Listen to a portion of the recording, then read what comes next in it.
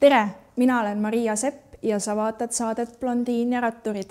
kahekümne kuuendal ja kahekümne seitsmendal mail toimub Tour of Estonia rattavõistlus, millega seoses küsime täna rattameestelt jalgrattaspordiga seotud küsimusi. head vaatamist ja nael kummi. tere, Oskar Nisu äh,.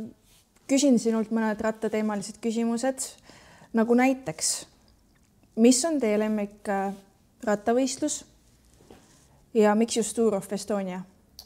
tere. jah, et lemmikrattavõistluse alla ma liigitaks tõesti Tour of Estonia ja miks siis äh, ütleme siin ikkagi kodu, koduteedel ja kodu nii-öelda publiku ja kaasaelamise näol on ikkagi kuidagi erilisem tunne võistelda ja see tekitabki niisuguse tunde, et on nagu lemmikvõistlus ja tahad nagu alati siia tagasi tulla. nägid, kuidas ma juba teadsin, et su lemmik on Tour of Estonia? Jah aga kodune publik, kas siis see tähendab seda, et äh, kodus ei ole konkurente, et siin on hea võita kõiki pika puuga? ei, see ei tähenda seda, siin on lihtsalt tunned, et koduseinad toetavad kodupublik, kui ikka Vanemuise tõusu peal elatakse kaasa, siis on ikka vägev.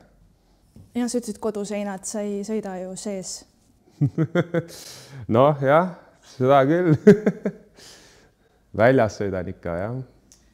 Äh, mis on äh, sinatame, nõus? mis on sinu kõige meeldejäävam moment Tour of Estoniaga, eelmiste võistlustega? no võidud jäävad ikkagi meelde, kui koondises on kas siis tuur või siis äh, etapp võidetud, et äh, võib-olla kõige eredamalt on meeles, kui aitasin koondise kaaslase ja sõbra Karl-Patrik Laugu võidule ühel etapil. kuidas sa aitasid teda? Olime koos jooksikute grupis ja tegin seal kõvasti eestööd, et taga punt kätte ei saaks. mis see jooksik on?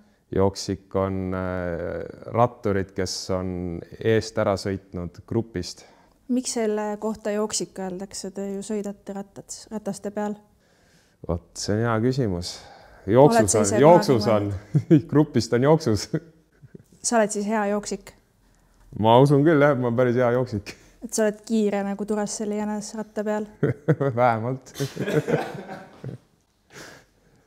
kas peenikeste kummidega on äh, raskem tasakaalu hoida?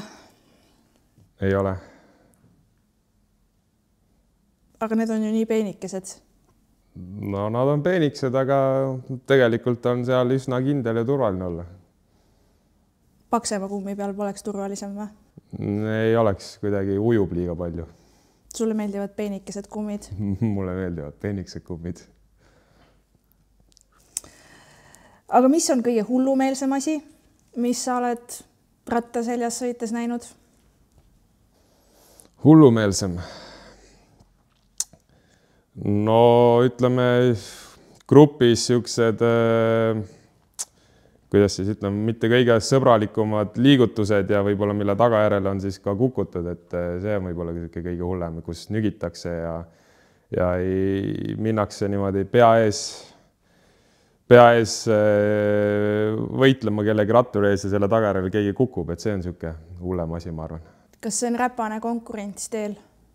kohati küll, ma arvan, jah. kas sa oled ise ka mõnele tüübile pannud küünarnukiga? on juhtunud kas keegi on sinu süül kukkunud ka? on juhtunud. kas sina oled kellegi süül kukkunud? on ka seda juhtunud. karma aga sul endal ei ole imelik päevast päeva koos teiste liibuvate riietes meestega higistada? ei ole, juba nii ära harjunud, et on tavapäraseks saanud. kas sul on lemmik baiker püksid ka? lemmik baikerpüksid või? Ei ole. no eks seal tootjate vahel on erinevusi, aga suures pildis on ükskõik. kas on vahel tunne, et paned selga püksid ja vot nende pükstega ma täna sõidan kiiremini mm,? sihukest tunnet ei ole, aga osad on mugavamad küll. aga tüdrukute seljas vaba aja biker shortsid, nei or yay vot ma ei teagi. oled näinud? olen. ma ei, ei ole, ei ole mingit arvamust, et, ei ole niisugust, et meeldib või ei meeldi, et las nad kannavad, kui nad tahavad. kui ma kannaksin praegu? no kanna okei okay., aga mis on kõige hullem asi? kukkumistest me rääkisime, äkki siis mingi kukkumine või mingi muu juhtum, mis sul on jalgrattaga sõites juhtunud mm? -hmm. mingi muu asi? no kui sa tahad rääkida mingist kukkumisest, siis räägi. aga äkki on veel midagi, mis sul tuleb kohe pähe? nagu hullematest asjadest siis või? no ikka jah. rahvas tahab teada mm,? ma ei tea niimoodi. Ega ei oska midagi välja tuua, eks peamiselt ongi niisugused hullemad on need kukkumised, mis hirmutavad, aga muidu nagu. kas kukkudes on mingi suur vigastus ka tulnud? oled luid murdnud? murdsin eelmine aasta esimest korda ühe luu, jah. mis Kukkus. luu? näpuluu. oi, kas sa olid siis eemal trennist või sõitsid kipsiga? Natuke aega olin eemal, aga sõitsin ka kipsiga. kuidas kipsiga sõita oli? päris ebamugav. arusaadav. aga miks te üldse peate treenima maanteel? et kas nagu metsas on ruumi vähe või? metsas ei ole ruumi vähe, aga metsas ei saa sellist erialalist äh, trenni teha, nagu maantee peal saab ja metsas äh, jah, ei saa, ütleme selliseid kiiruseid ja selliseid lõike teha, mis on vaja maanteeratturil, maanteel vaja teha. kas sul on lemmikmaantee, kus trenni teha? Mm, otseselt lemmikud maanteed ei ole, aga meeldivad äh, lihtsalt Lõuna-Eesti käänulised ja väiksemad teed. mis su lemmik Lõuna-Eesti maantee on mm.? hea küsimus.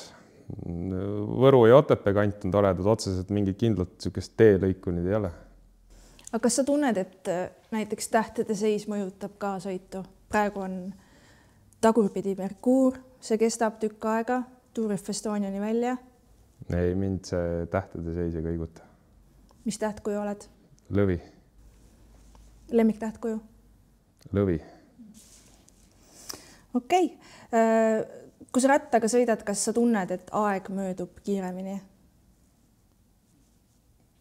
kui siin hetkel ma ei tea, ei, ei möödu kiiremini, ma ütleks, ikka sama kiiresti läheb või aeglaselt. et kui sul on raske sõit, siis sa ei tunne, et aeg venib või vastupidi, kui on hea sõit, et aeg läheb kiiresti? no see on hea point, et ega vahest, vahest võib-olla aeg venib rohkem, vahest on tõesti jah, nagu see on midagi, mille peale sa pole ise tulnud? ega ma ei ole mõelnud selle peale jah, niimoodi. aga see on hea point on, on. aga tempo on muidu parem, kui te kõrvuti sõidate maanteel või? või miks seda üldse tehakse? Läheb, vot siis läheb aeg kiiremini, vot siis, siis sa saad teise inimesega natuke juttu rääkida kas sa ei peaks keskenduma trennile, mitte juttu rääkima? no on hetki, kus sa pead keskenduma antud mingitele üle, lõikudele, mis sa trennis teed, aga on ka hetki, kus sa võid no, rahulikumalt võtta ja siis äh, rääkida ka kaastrennis olijatega. Aga kas sul on vahepeal äh, jalg ka krampi läinud, nii et sa ei saa enam sõita? ei ole, õnneks. kas sa võtad mingeid lisandeid selle jaoks, et krampi ei tuleks? ei võta, õnneks on kuidagi minu lihased sellised, mis väga lihtsalt krampi ei lähe, nii et. sa oled veel noor? ei, ma ei ole enam nii noor. kui vana sa oled? kakskümmend kaheksa, saan kakskümmend üheksa. ah, okei okay.. aga sul on kahju ka muidu, et sa enam lapsi ei saa või? no et see sadulas istumine, vaata. Ma arvan, et see ei ole probleem. kas sa oled kindel? no üsna. kas sul on lapsi? ei ole. sa ei saa siis kindel olla? no küll ma saan okei okay., aga on sul muidu mingid äh, top nõuanded inimestele, kes tahavad jalgrattasporti teha, aga kardavad näiteks, et see hõõrub nende tagumikku ära? või siis just äh, treenid just tuharalihaseid, äkki läheb veel suuremaks, mis siis saab? Oh my god, aga kas jalgrattasportlastel on kõigil head tagumikud või? ma arvan küll jah, see on üks peamine lihasgrupp, mis töötab, kui sa rattaga sõidad. mitu palli kümnest hindeks annad enda tagumikule? Endale no ikka kümme ikka kümnest. okei okay,, ma hiljem tšekin, ma ütlen sulle palju kas sa hakkasid oma jalakarvu ajama sellepärast, et see on jalgrattaspordi osa või sa hakkasid jalgrattasporti tegema, et sa saaksid oma jalakarvu ajada? ei, kui ma jalgrattasporti hakkasin tegema, siis ma olin nii noor, et ma ei teadnud veel siukse, et aetakse jalakarvu. kas sul ei olnud veel jalakarvad kasvama hakanud? no väiksed udemed ikka olid. Need ajasid ka maha? mingi hetk küll, jah. on sul üldse kunagi karvased jalad olnud siis? no ikka on, talvel. talvel mm? -hmm. aga praegu, siled? Ja täna hommikul just ajasin. hea sile on ju mm? -hmm. kuhu maani tõmbad siiani või? no ikka üles-välja. okei okay.. aga sul on muidu mingi raseerija soovitus või? oled sa testinud erinevaid aastate jooksul? no ikka viie teraga on parem. eelist, kas see on seesama, mida sisse. näos kasutad, siis ja. hiljem tõmbad? ei, ma kasutan erinevaid terasid igaks juhuks. aa, okei okay..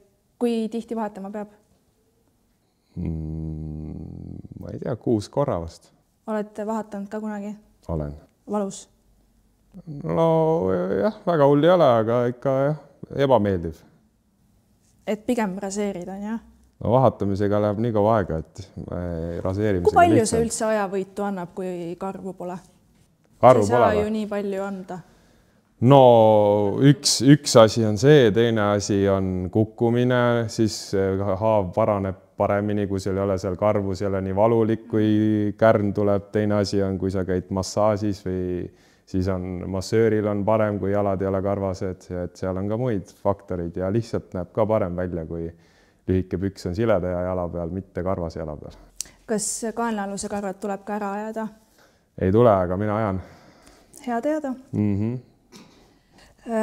võistlused on pikad kõik tsiviilkodanikud on näinud jalgrattureid ja mõelnud, kuidas küll lahendatakse erinevad ihuhädad. millised on sinu kogemused? kuidas toimetad, kui tuleb pissihäda? siis vastavalt olukorrale, kas ratta pealt või jään seisma ja teen häda ära. kas seda juhtub iga võistlus? iga võistlus ei juhtu, aga on olnud võistlusi, kus olen pidanud ka rohkem kui kümme korda käima. mis sa siis enne joonud oled, kohvi või? Mm, kohvi ja siis oli külm ja vihmane ilm ja siis kuidagi keha käitus niimoodi. aga kui vihma sajab, siis võib lihtsalt alla lasta ju, ei äh,? on inimesi, kes on teinud seda, aga ma ei, kuidagi ei suuda, mentaalne plokk on ees. kas äh, oled sõitnud kellegi taga, kes on nii teinud ja siis sa ei saa aru, kas see on vihm või? Ei ole, õnneks, ma loodan. Olgu, aga number kaks no see üldjuhul kaob võisteldes ära. mina mõtlesin sama, et sul on ju adrenaliinipauk nii suur, et sa ei jõua mõelda sellele. no seda jah, seda häda pole õnneks mina pidanud veel sõidu ajal tegema. aga sa oled näinud kedagi, kes on pidanud? ei ole, aga ma olen lugusid kuulnud, kuidas üks, ühel soomlasel ükskord Saaremaa velotuuril juhtus, äpardus. situs täis ennast? jah. ja siis sõitis edasi? nojah. finišisse no vist küll jah, ei no kas just võidukalt, aga finišisse ta vist jõudis jah. kas ta sai mingi eraldi medali selle eest? ma ei tea, ma olen ainult kuulujutte kuulnud. vist mitte. miks üldse peaks rahvas tulema Tour of Estoniat raja äärde vaatama? miks peaks, sest äh, mis sa paremat ikka laupäevasel päeval teed, kui tuled, vaatad liibuvaid mehi ringi magan. sõitmas. magan. mis ikka, see on nii hilja on start peale kahte, sa ei maga enam siis nagu ma peol käisin eelmine õhtu. no ega sa üle kahe ikka ei maga ju. sa peol üldse saad käia või? vahest ikka. alkoholi võid juua või? vahest ikka. Red Bulli ei jood või? harva, aga joon. mis su lemmikalkohol on mm,? õlu. õlu on ju vedelleib no. ja see on sportlase taastusjook kui sa nii ütled olgu, sellega tõmbame kokku, aitäh, Oskar. aitäh